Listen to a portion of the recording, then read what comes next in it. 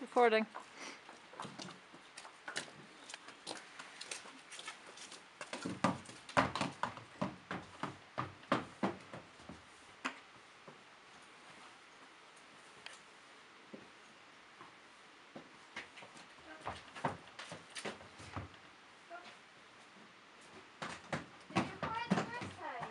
Keep doing it. I've done it. I just to make sure it's